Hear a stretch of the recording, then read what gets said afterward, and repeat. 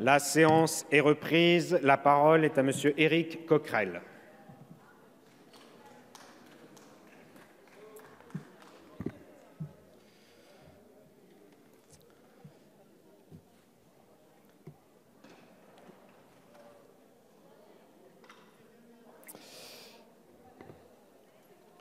Monsieur le Président, Monsieur le Ministre, Madame la rapporteure, chers collègues, à vrai dire, euh, au moment où on s'est inscrit sur cette motion de rejet, il y avait suffisamment dans le contenu de la loi pour expliquer que nous la défendions. Je ne vais pas vous étonner, ce n'est pas aujourd'hui sur euh, le contenu de la loi Asile-Immigration, aussi injuste qu'inefficace, que je vais m'adresser à vous. En réalité, il y a une toute autre raison qui explique cette motion de rejet.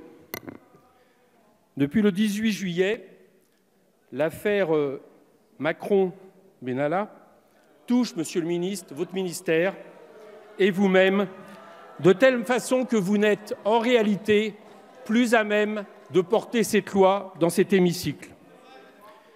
Il y a pour cela plusieurs raisons. Nous vous avons entendu, Monsieur le ministre, ici même à l'Assemblée, devant la Commission et devant le Sénat. Je n'ai même pas pu compter combien de fois vous avez dit que vous n'étiez pas au courant, que vous n'aviez pas de responsabilité, combien de fois vous vous êtes défaussé devant vos hommes, et enfin combien de fois vous avez menti. Pour mémoire, vous nous dites, vous nous dites, à la question avez-vous rencontré M. Benalla? J'ignorais sa qualité auprès du président. Je ne le connaissais pas. J'imaginais qu'il était policier. Depuis, nous avons appris que M. Benalla était, je cite, chargé de mission, chargé de la coordination de la sécurité du président en lien avec le GSPR et les militaires, qu'il assistait à des réunions stratégiques sur la réorganisation de la sécurité de l'Élysée. Et vous allez nous faire croire, Monsieur le ministre de l'Intérieur, que vous n'étiez pas au courant de prérogatives de cet homme. Vous nous avez dit que vous ne saviez pas qu'il portait une arme et nous avons appris que c'est le directeur de cabinet du préfet de police qui lui a autorisé cette arme que le ministère de l'Intérieur lui-même lui avait refusée. Vous nous avez dit, monsieur le ministre de l'Intérieur, le soir de la réunion, au soir du 1er mai de la DOCP, que vous n'étiez pas surpris d'avoir vu cet homme, que vous ignoriez. D'ailleurs, vous avez dit à ce moment-là qu'il était observateur, alors même que le préfet de police, M. Delpech, a expliqué le lendemain qu'il était avec vous ce soir-là et que tous les deux, vous avez été surpris de voir cet homme dans le sein du sein, là où se passe la direction des manifestations, là où il faut une carte d'accréditation, un badge électronique pour passer, lui s'en est étonné, il n'a pas dit je m'en suis étonné, je parle du préfet, mais nous nous sommes étonnés avec le ministre de l'Intérieur dans cette scène où le préfet a parlé de copinage malsain. En dehors du passage à tabac des manifestants, raison pour laquelle vous nous avez expliqué que le 2 mai de l'après-midi, après avoir visionné des vidéos, vous aviez contacté et d'un côté le préfet et de l'autre côté de l'Élysée. En dehors de ce passage à tabac, nous avons appris à partir du 18 juillet que M. Benalla a passé toute la manifestation du 1er mai avec un brassard de police, avec une radio où on se demande bien à qui il demandait ou donnait des consignes. Je suis très étonné, Monsieur le ministre de l'Intérieur, qu'il ait fallu que nous apprenions par des vidéastes par des photographes le rôle joué ce jour-là par M. Benalla et que vous, ministre de l'Intérieur, vous n'ayez absolument rien su depuis le 2 mai. Vous n'avez pas non plus su qui a autorisé M. Benalla à être là ce, ce 2 mai, à jouer un rôle tout autre que celui d'observateur. Le préfet nous dit ce n'est pas moi. M. Gibelin nous a dit ce n'est pas moi, j'y reviendrai. Et vous-même, vous avez dit que vous n'étiez pas au courant. Alors qui est au courant dans ce pays au ministère de l'Intérieur? Vous nous avez dit, Monsieur le ministre de l'Intérieur, quand vous avez vu cette vidéo, que vous n'aviez pas jugé bon d'activer l'article 40 du Code de procédure pénale qui vous obligeait, en tant que détenteur de l'autorité, à interpeller un procureur pour ne pas attendre le 19 juillet que la justice se saisisse elle-même de ce problème. Vous nous avez dit, vous nous avez dit, c'était au préfet, j'imaginais, de le faire. C'était à l'Élysée, j'imaginais, de le faire. Mais que n'avez-vous pas de pouvoir, monsieur le ministre de l'Intérieur? D'ailleurs, à ce sujet-là, je relève une chose. Soit monsieur le préfet a menti, soit vous avez menti, puisque vous nous avez expliqué que c'était le 2 mai après-midi, que vous avez vu ces vidéos, que vous avez contacté l'Élysée, le ministère de l'Intérieur, alors que monsieur le préfet nous a expliqué que le 2 mai au matin, il a été appelé par l'Élysée, qui lui a dit mais de quoi quelle est l'affaire Benalla? Êtes-vous au courant de l'affaire Benalla? Et que quand il a appelé le ministère de l'Intérieur, contrairement à ce que vous avez dit, le ministère de l'Intérieur lui a dit Nous sommes déjà en discussion avec l'Élysée pour savoir ce que faisait cet homme.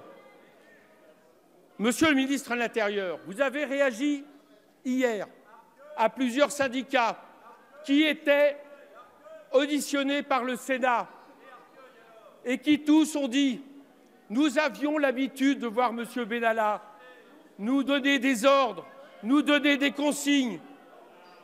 Nous avions cette habitude. Vous avez même, ils ont même expliqué qu'il avait une attitude exécrable avec eux. Alors, Monsieur le ministre de l'Intérieur, j'ai noté que vous aviez fait un communiqué pour expliquer que vous alliez voir les syndicats et que vous leur avez dit Mais je ne comprends pas. Que ne m'avez-vous pas dit avant ce problème? Mais que faites-vous de Monsieur le ministre de l'Intérieur pour ne pas savoir qu'il y a quelqu'un qui n'a ni les attributions de policier, ni de gendarme, ni d'autorité, et qui joue aux cow-boys et aux soldats avec nos forces de police?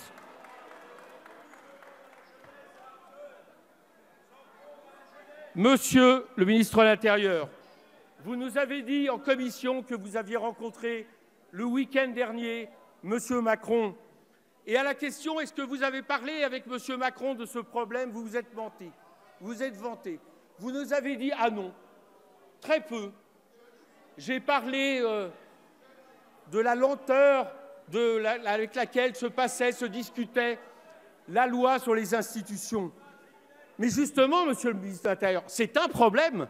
C'est un problème que vous, ministre de l'Intérieur, dans quelque chose qui touche au plus profond votre ministère, qui déstabilise vos hommes. Vous n'ayez pas parlé avec le président de la République de ce qui agite la France. Alors, je vais vous dire, monsieur le ministre de l'Intérieur, je vais vous dire, monsieur le ministre de l'Intérieur, il vous a fallu attendre au final, il vous a fallu attendre au final que le journal Le Monde révèle ces questions. Il vous a fallu attendre que les oppositions, toutes les oppositions, fassent pression pour essayer de connaître la vérité, pour réinterpeller l'IGPN sur ce qui apparaissait à tous comme un problème, tellement un problème d'ailleurs, que je vous rappelle, et ça aurait dû vous alerter, monsieur le ministre de l'Intérieur, c'est que tous les groupes d'opposition, sur cette manifestation du 1er mai, qui s'était passée de manière tellement étrange qu'elle avait interpellé les syndicats de, de policiers, tous les groupes d'opposition avaient demandé une commission d'enquête depuis fort longtemps pour comprendre ce qui s'était passé. Et nous comprenons pourquoi vous l'avez refusé, car il y avait tellement en réalité à cacher sur cette journée de manifestation du 1er mai. Monsieur le ministre de l'Intérieur, on dit en général que le ministre de l'Intérieur est l'homme le plus informé de France. Et nous avons à ce titre, à ce poste, l'homme qui ne sait rien l'homme le moins informé de France, l'homme irresponsable. Cela me fait penser, vous savez, à ce dessin où on voit un petit animal qui ferme les oreilles, qui ferme les yeux, qui ferme la bouche. Est-ce que vous croyez vraiment, Monsieur le ministre de l'Intérieur, que vous êtes à ce niveau, à ce titre, capable de forcer cette loi, ou d'ailleurs je ne sais quelle loi en tant que ministre de l'Intérieur au fond, d'ailleurs, ce n'est pas vraiment nouveau. Au moment où Génération Identitaire occupait une frontière, là aussi, en face de nous, vous avez choisi le silence. Vous nous avez dit je ne sais pas. Et pour finir, vous nous avez dit via votre préfet que vous regardiez ailleurs, que les choses finalement se passaient pas si mal. Quand des responsables d'État sont menacés par des groupes d'extrême droite, là aussi, pas un mot. Mais que faites-vous au ministère de l'Intérieur? En réalité, toute cette affaire, toute cette affaire ne fait que montrer votre incapacité et dès lors votre incapacité à porter cette loi. Vous savez, Monsieur le ministre de l'Intérieur, une des raisons profondes pour lesquelles nous souhaitons cette motion de rejet, c'est que ce texte, quel que soit l'avis que nous avons sur ce texte, mais donne beaucoup plus de pouvoir à votre administration. Et moi, personnellement, je suis inquiet quand justement le président de la République décide de manifestement contourner les autorités et la police au point de subordonner ses services de police à des individus comme M. Benalla. Et vous en avez été le complice. Monsieur le ministre de l'Intérieur, quand vous n'éludez pas, quand vous ne mentez pas, quand vous ne vous défaussez pas sur vos hommes, et j'y reviendrai, en réalité, que faites-vous? De ce point de vue, vous êtes disqualifié et irresponsable pour porter cette loi. Enfin, je voudrais ajouter une deuxième et dernière raison. Cela a été dit par beaucoup de mes collègues. Il y avait un pacte entre nous sur cette commission d'enquête que vous décidez unilatéralement d'arrêter au bout de deux jours, en faisant porter sur le sol, Monsieur Gibelin, le rôle de fusible et de responsable. Ce n'est pas sérieux. Cet après-midi, vous le savez, nous avons appris qu'il y avait toujours plus de mensonges sur les soi-disant sanctions de M. Benalla. Il n'y a eu aucun retrait de salaire sur ces fiches de paye. Aucun retrait de salaire. Il n'y a eu aucune rétrogradation. Il a continué à assurer son rôle de coordination, à assister aux discussions stratégiques sur la réorganisation de la sécurité de l'Élysée et assurer même la sécurité privée du couple Macron.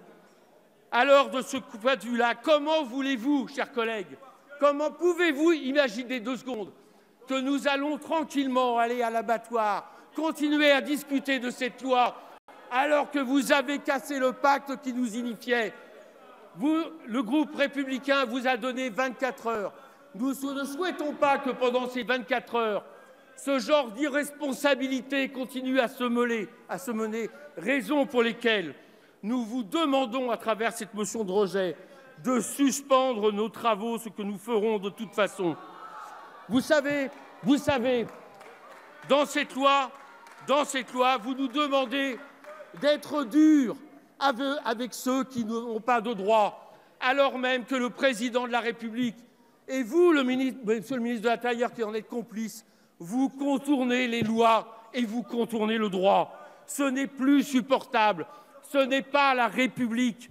Nous n'en voulons pas. Nous demandons en conséquence que la commission d'enquête reprenne et qu'en attendant, cette loi soit arrêtée, soit suspendue, comme l'a été la loi sur les institutions. Merci.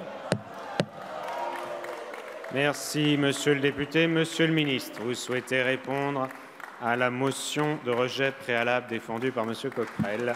Et j'informe l'Assemblée nationale que sur le vote de la motion de rejet préalable, je suis saisi par le groupe La France insoumise d'une demande de scrutin public. Le scrutin est annoncé dans l'enceinte de l'Assemblée nationale. Mesdames et messieurs les députés, nous pouvons avoir euh, sur le projet de loi que nous examinons euh, ce soir des points de vue très différents. Mais personne ne peut dire dans cette Assemblée sauf peut-être M. Coquerel, que ce sujet n'est pas au cœur des préoccupations des Français. Personne ne peut dire que c'est aujourd'hui un problème qui emmène l'Europe au bord de la catastrophe. Personne ne peut dire que dans les pays africains, il n'existe pas des trafics d'êtres humains. Et c'est pour cela que nous coopérons avec eux étroitement. Mesdames et Messieurs les députés, j'étais avec euh, quelques-unes et quelques-uns d'entre vous il y a quelques mois à Niamey au Niger pour étudier les coopérations que nous pouvons avoir avec les différents pays africains. D'abord, pour porter le développement en Afrique. Et le président de la République, vous savez, s'est engagé à ce que l'aide au développement pour développer l'Afrique soit considérablement accrue parce qu'il s'agit d'un problème essentiel et pour les pays africains et pour les pays européens et pour notre propre pays. Voilà, c'est cela le sujet qui intéresse les Français aujourd'hui.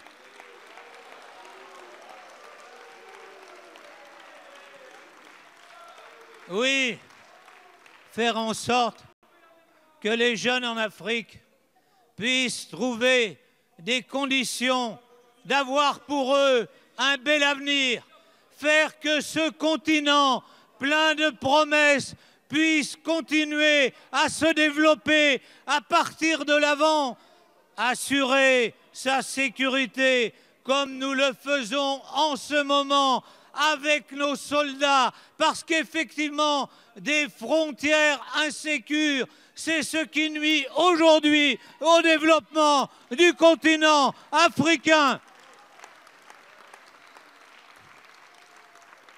Alors, mesdames et messieurs, tout le reste n'est que politique politicienne. Et moi, je m'intéresse aux problèmes qui sont ceux des Français. Et ils nous regardent ce soir et ils nous jugent et ils voient l'attitude des uns et des autres. Certains qui ne sont préoccupés, les mêmes d'ailleurs, qui ont amené au 1er mai, qui ne sont préoccupés que par des problèmes de base politique, et les autres qui essayent de résoudre les problèmes de nos concitoyens. Alors, mis à part peut-être Monsieur Coquerel et ses amis, je pense qu'une immense majorité des députés, quelle que soit leur opinion, vont rejeter la motion qui nous est présentée ce soir.